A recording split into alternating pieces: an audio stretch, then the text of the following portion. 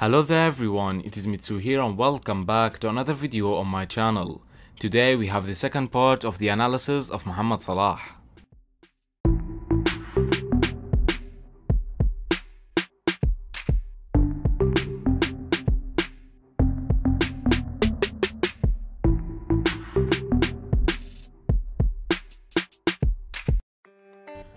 So I want to remind you that you can always watch the first part if you haven't already to cover the previous topics. And just like the first part, all the clips and the stats in this video are from this season only. So as we all know, he likes to cut inside and shoot with his left. However, he tries to keep both options available to confuse the opposition. Then he sets his shot up and goes for it. In the 1 vs 1 situation, once the opposition stops, he takes his decision. Obviously, this allows him to take the advantage as the opposition tries to accelerate again. Whenever he has the space, he uses the setup touch to increase the accuracy of his shots. Try to go for this setup touch whenever you have the chance as well as you always do it in training. His ball control is amazing, which helps him keep the ball in such situations and make the finish looks easy most of the time.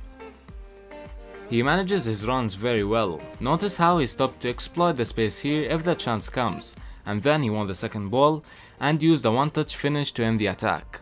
I've made a full video explaining the different types of shots that you can learn to improve your finishing in different situations. The link will be available in the description. Here again, another one-touch finish, taking the advantage from the ball's speed and power and adjusting his foot for the finish shot.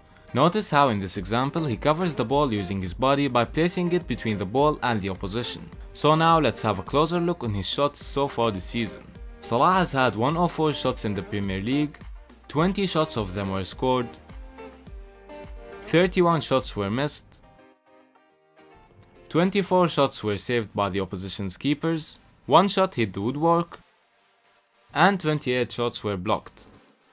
So here's the final overview of all his shots so far this season.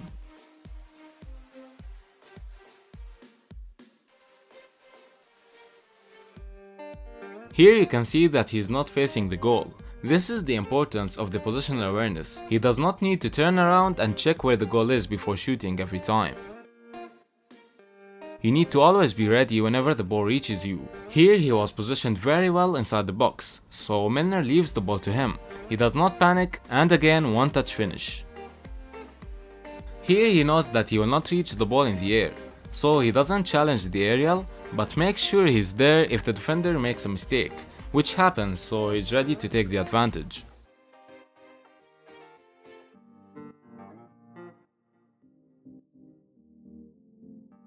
We have always spoken about the importance of scanning the pitch on this channel. I'll leave some links in the description down below if you want to know more about it.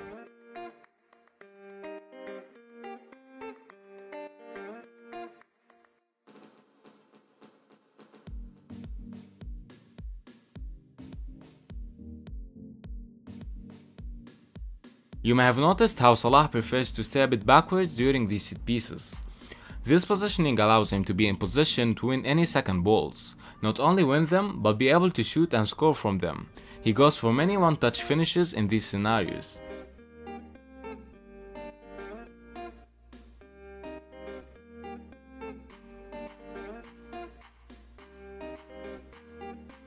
Salah has an average of 3.4 shots per game, from which 1.3 were on target.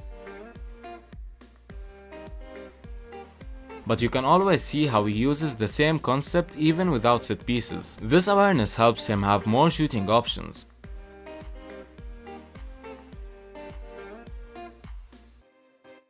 Before we continue, I just wanted to thank Be Your Best for sponsoring this video. Be Your Best is the perfect training tool for footballers. It is an interactive VR tool that will help you increase your scanning and decision making abilities. The link will be available in the description down below. Salah has improved a lot in this aspect. You may have noticed the transition in his body as well. He started using a lot of body feints and adding some flair to his game as well. You can see in this example how he used all the previous topics that we discussed to create a 1 vs 1 situation for himself inside the box. And by doing that he goes for a simple body feint to set up his traditional finish shot on his left. He completed 45 dribbles with a 50% success rate.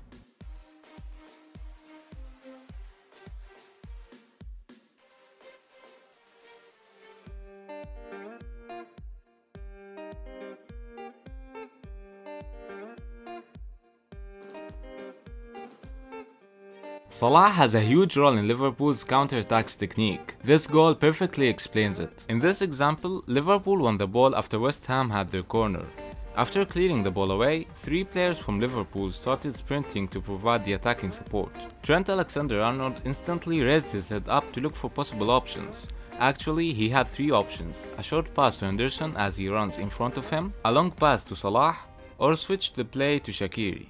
Choosing Shaqiri was the best option here as if you have the opportunity to switch the play during a counter-attack, it will be really useful as it will slow the opposition down even more. As you can see, the defender is asking his teammates to cover Salah as he moves out to press Shaqiri. So Salah takes the advantage of that and moves to his right. As the counter-attack is progressing, the players keep sprinting forward. Now Shaqiri has two options, either a short pass to Robertson or a direct pass to Salah inside the box. He goes for the second option as it is the faster option compared to the other one. Plus, he plays the pass with his first touch to increase the pace even more. Finally, to wrap things up, world-class control from Salah to complete this perfect counter-attack.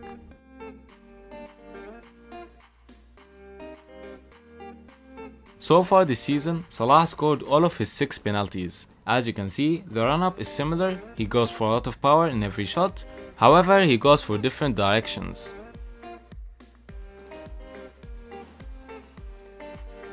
Salah scored 20 goals so far in the Premier League, which is actually more than his XG. As you can see, it shows that the expected goals are 18.2 only.